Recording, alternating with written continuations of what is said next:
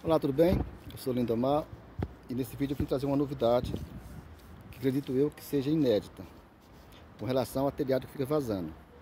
Como você pode ver, esse telhado aqui, esse telhado aqui está todo pintado, partes, tudo no, no embolsamento. Aqui no meio é uma calha. O que acontece? O telhado foi feito, ele foi trocado é, a telha e o ripamento. Só que aqui embaixo é um escritório. O, o dono não quis tirar o escritório. Ao tirar o telhado para o madeiramento, certamente o ia ter que tirar o forro de, o forro de gesso, estava tudo bonito e ia ser maior os danos. Então ele mandou fazer o telhado mesmo assim com pouca inclinação. Aqui era telha de barro, foi trocado por essa telha de cimento, que também é, é o, mesmo, o mesmo estilo, o mesmo modelo na verdade tem uma diferencinha. Então quando foi colocado essa, esse telhado, ele ficou vazando bastante, água, água em vários lugares. E o motivo foi a inclinação. Tanto é que da comida para aquele lado ali, que teve menos, uma inclinação maior, ele quase não vazou. Aliás, não vazou de jeito nenhum, para ser, ser mais preciso. Aí para cá, que é esse lado aqui, e esse outro aqui, que onde o menino está pintando, vazou bastante. Aí o que fazer? Tirar o telhado não ia adiantar, trocar, trocar por outra telha também era inviável. E desmanchar o telhado e mexer no, no nem pensar. Então o que nós pensamos?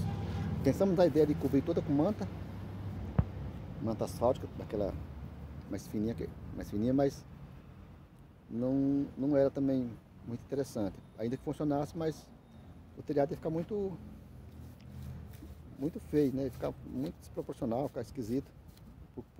Isso do ponto de vista do proprietário. Aí, e aqui, ó, como ele está aqui, veja que depois que pintar, que ele terminar aqui a impermeabilização, ele vai pintar o telhado. Então não vai aparecer, vai ficar um telhado muito bonito e sem vazamento.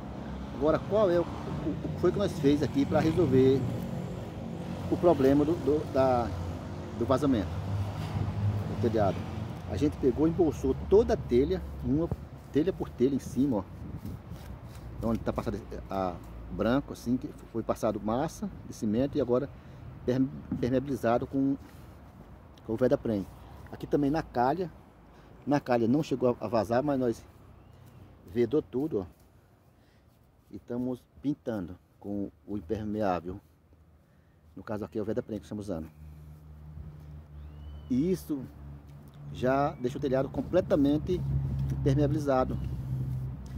É, então eu trouxe aqui essa dica por causa que acredito que quando você tiver um problema como esse e não tiver como mexer no telhado, trocar, mexer no medramento, fica mais barato e não fica feio, fica bonito.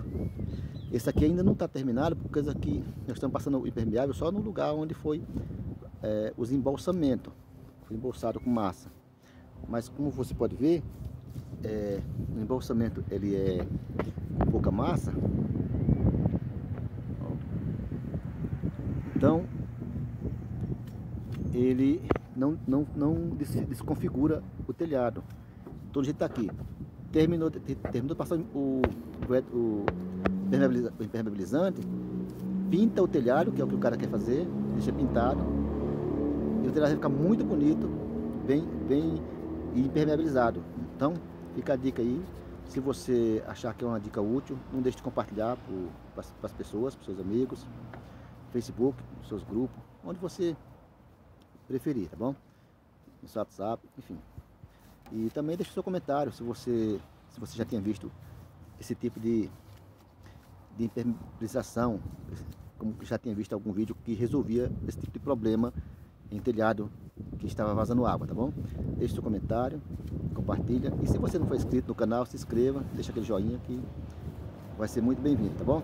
Então, até o nosso próximo, Deus quiser.